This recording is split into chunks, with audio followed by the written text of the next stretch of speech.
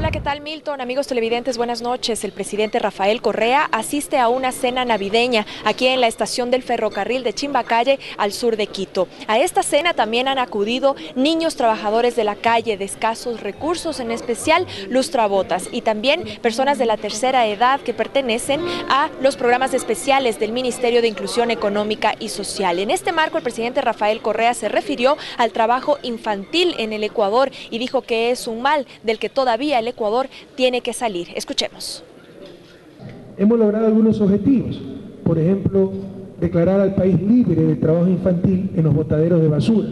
Antes era muy común los niños chamberos, recogiendo la basura en basurales, en botaderos al aire libre, plenos de contaminación.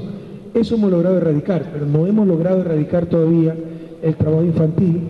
Aquí nos ha deleitado con una maravillosa canción hecha por ellos mismos, Chicos Betuneros todo nuestro compromiso para seguir luchando, para que no haya ni un solo niño que en lugar de estudiar, de jugar, tenga que trabajar.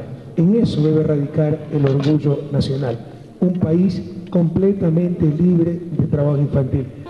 Más temprano, el presidente Rafael Correa cumplió con otras actividades, entre ellas el cambio de guardia en los exteriores del Palacio de Carondelet, la sesión de fotos con los candidatos a las elecciones del 2014 y un almuerzo con el gabinete ampliado. Nosotros les hemos preparado un informe, veamos. Día de movimiento político en el Palacio de Carondelet. En horas de la mañana, el presidente Correa participó del cambio de guardia junto al segundo mandatario Jorge Glass.